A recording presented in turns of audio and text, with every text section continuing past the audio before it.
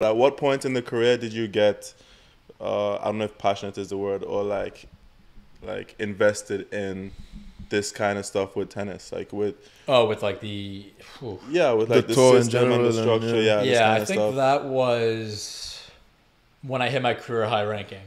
That's when I hit like, actually right before that, I hit like the darkest depression of my career. Um, lost like eight matches. So I won a challenger at the beginning of the year in Noumea. Lost eight matches in a row, kind of mid-year, and like eight matches in a row for people that don't know, that's like a long time. You know, that's like a So few at months. least at least two It's like months. two- Yeah, At minimum. least. And, and I didn't play that many tournaments, so it's like three and a half months for me. Yeah, so I'm like texting my girlfriend, like I can't play tennis, you know, like literally can't strike a ball. Um, and then, um, so really depressed, and I, I kind of had a breakthrough right after that, where I needed two matches at the Tallahassee Challenger to qualify for the French Open, just to get into qualies. And I ended, and it was a really tough draw. I played Cope for first round, down set points in the first set, beat him, and then it was Kudla second round. It's rough. And then I ended up actually winning the tournament. I got a wild card to main, and then it kind of kickstarted again. Um, and then after that summer, I, I had a good summer. Broken shoe. Fucking, if I hear that story one more time. yeah, it's great. I only played one match in my career. Flip flops. Yeah. they don't even tag me in the fucking posts on tennis TV. That's crazy. It's an Isner clip. Yeah, it's an The guy, the guy who played Isner, who was that? Why every time on tennis TV they only post the person who wins the point, never the person who loses the point? It can be ridiculous. We didn't even points. play a point. It broke my shoe. Like, Isner's opponent broke his shoe. Some guy over there broke his shoe. so I got to my career high after that. I was playing good ball, and then played Tiburon, Tiburon Challenger, great challenger, probably one of the best. Yeah. And I think I either it was quarters or semis. I want to say quarters that I lost in, and I was just like, "The fuck am I doing?" Like, like I put in so many matches. I have to I have to work hard every match. I mean, you know, I don't have the size. I'm not acing guys off the court here, so I'm like grinding my ass off, and I just like after a really good summer, I was just like, I just lost in the quarters of challenger and like nothing. I need another two challengers to get to top hundred titles on top of what I already have to get to top hundred. Like I have so much more to go. This sucks. Like this, I have to put in so much effort, and that's where like I, I've spoke. You know, like Bradley Klahn did it, where you like you sneak to Korea for like five weeks and see what you can do and try to like make that last jump. And I wish, I wish I would have pushed past it, but I was in no state of mind. And that was kind of where I started opening that book and peeling back the curtain and being like, what's actually going on in the sport? Like, does anybody make money? Is anybody happy playing this sport?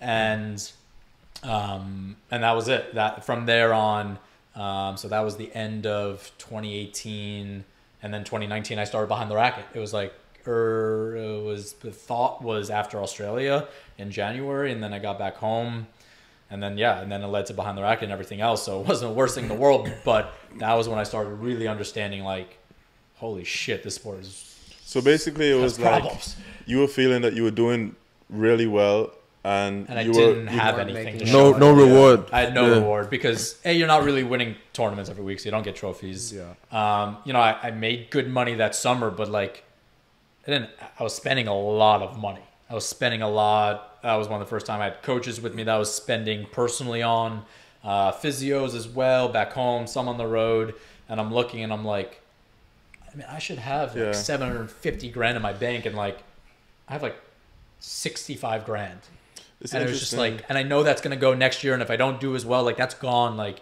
that, that was tough. I think Justin asked a question in the Cova episode uh, last year. It's like people already think about like the better you get, it's also more expensive things are because then now you're gonna say, okay, let me reinvest some of the money I'm making back into my career. Now I can afford a coach on the road. So then the coach on the road is gonna come and take up some of the money that you. I would wasn't make. even It's there, not- bro. No, but you you helped us write the, Oh, the good. format, brother. But I would say, and I would say to that, like that ranking point that I was at, like that 110 to 130 range, is like the worst range for what you're talking about because you're not guaranteed main draw slams yet, Yeah, so you don't yeah, have that guarantee. exactly. But you're you're a main draw slam player in your head. Mm-hmm.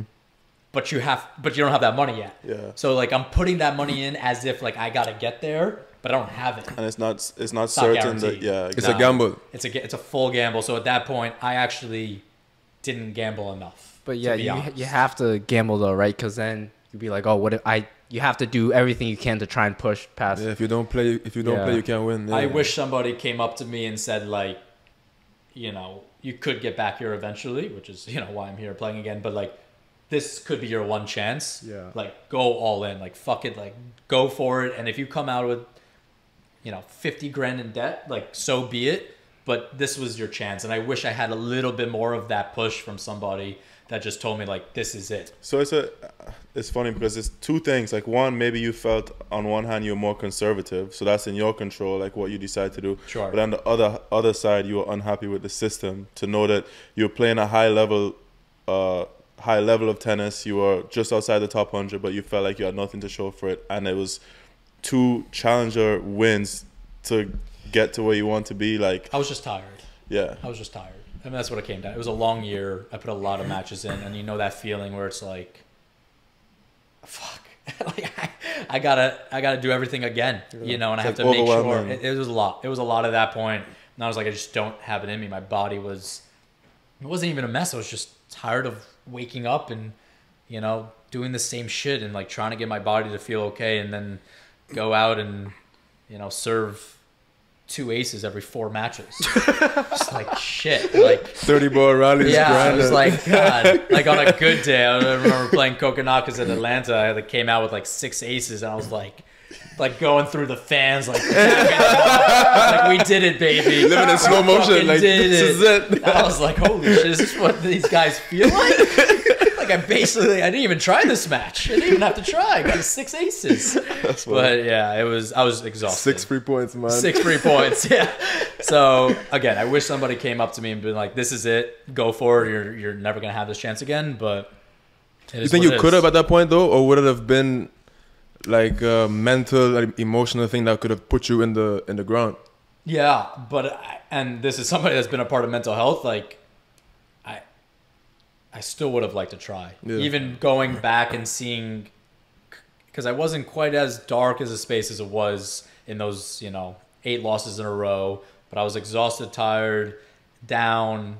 But like, I think I could have put it in. You think that's part of why you're back now because you feel like if you get to that point again and then you make a different decision this time, maybe the result will be different. Yeah, I mean, uh, there's a lot of reasons that I'm looking at the sport differently. Like I coach juniors, I feel different. I'm seeing the game differently. But yes, I mean, I think you know, if I roll my ankle too good, you know, if I just don't play good tennis, like too good. But I want to give myself a chance to be back in that position and make different decisions and be back in, di- you know, even just knowing how I've done things in the past, like small things like when I won a tournament, I've never won a match after winning a tournament. Where like tennis is a very big momentum based sport.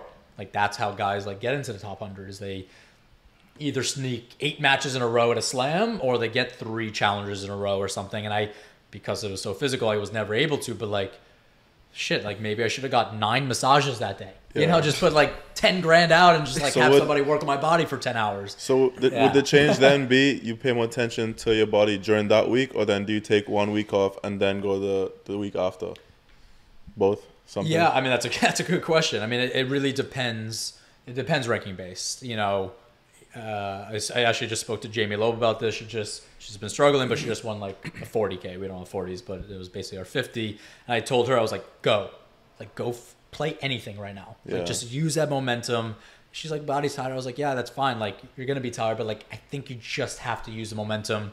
Sneak the first tough match, like the first match of the tournament's always difficult, and then you just play.